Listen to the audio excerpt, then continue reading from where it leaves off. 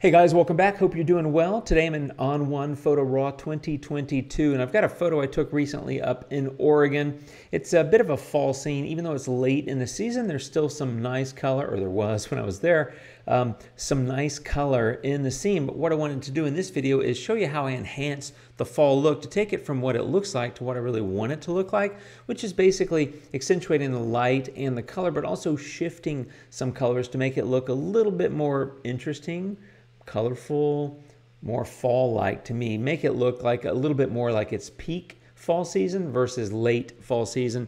Let's get into it. Here's the photo. This is uh, already cropped, and this is in Portland, Oregon, uh, under what's called the St. John's Bridge. Walked around, you can see that there's some nice yellow and, of course, some greens.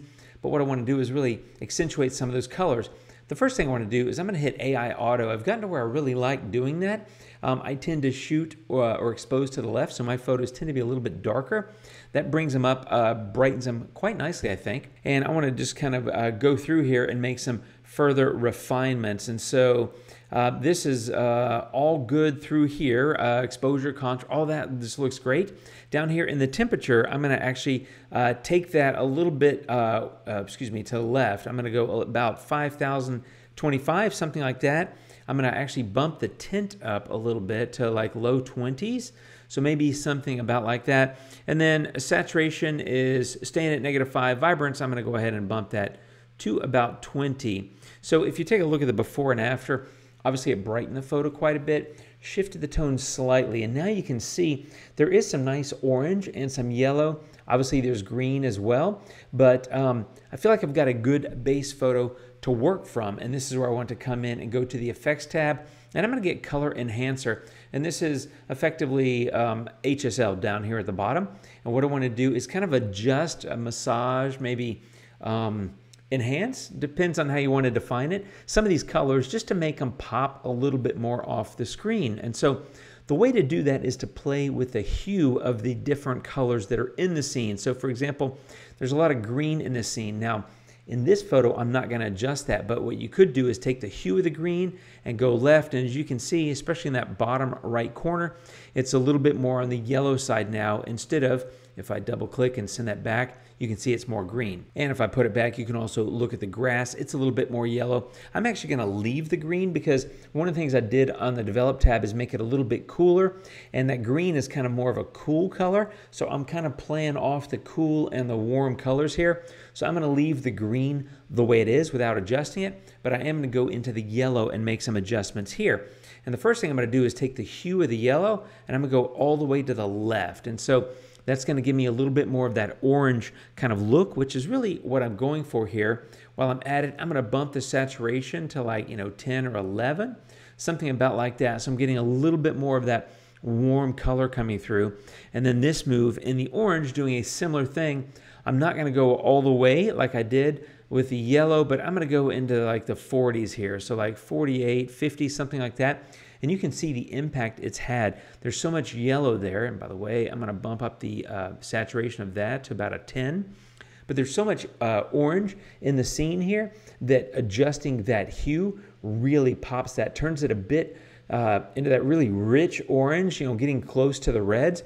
What I don't want to do is go all the way because that looks like really, really red. I, I, I liked it like around 48 or 50, where it's to me a really rich orange not quite red. But the point is, every photo is, of course, going to be different. The point is, adjust these hues as you see fit, move them around, aim them to the left to enhance those potentially greens, but definitely the yellows and the oranges. I'm not going to do anything with the red here. There wasn't really a lot of red in this scene, but any of those four, starting with the red, the, uh, the orange, the yellow, and the green, any of those four can be adjusted with the hue to really enhance the color.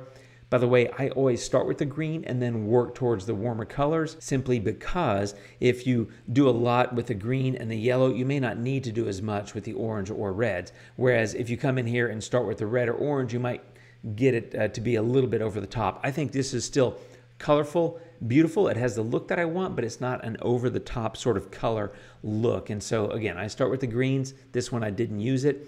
Uh, I primarily spend my time with the yellows and then the oranges in most photos. Again, each photo may be a little bit different. So just keep that in mind, but that's how you can go in and really enhance those fall colors. And so if you look at the before and then the after, obviously I created a little bit more uh, orange there than existed, but it looks like it's a peak fall photo, whereas uh, in reality it was kind of late fall and there's more stuff um, that's kind of yellow and, and probably heading to brown.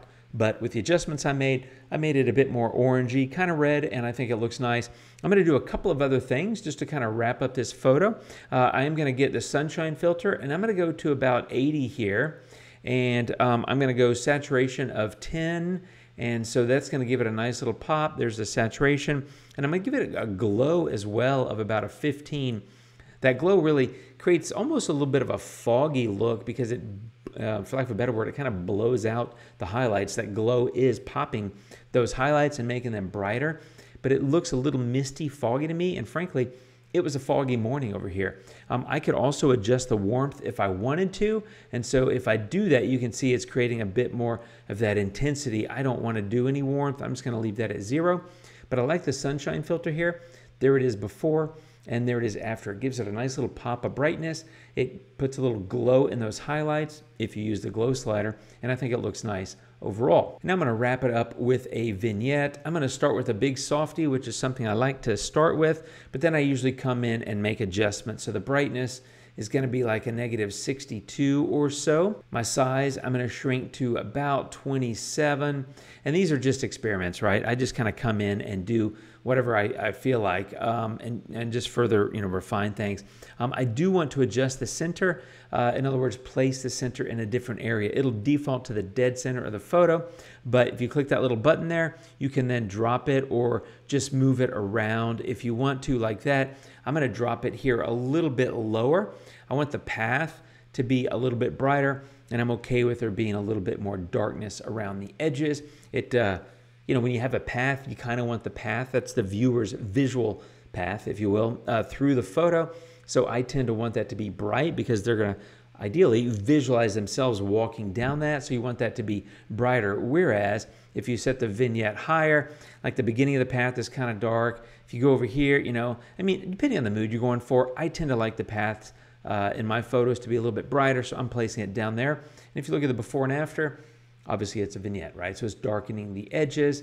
Uh, but there you go. Um, and that's really the whole edit. The big deal here, of course, was color enhancer. Took me from that kind of look to that, which is, like I said, a richer kind of fall look. And overall, the AI Auto on the Develop tab, and then these filters took me from that photo, of course I cropped it, to that photo. That's how you enhance fall photos, or at least that's how I enhance fall photos. Season to taste, adjust the colors as you see fit, but I wanted to share that. Hope it helps. Thanks for watching, my friends. You guys take care of yourselves. I'll see you in the next video, and until then, adios.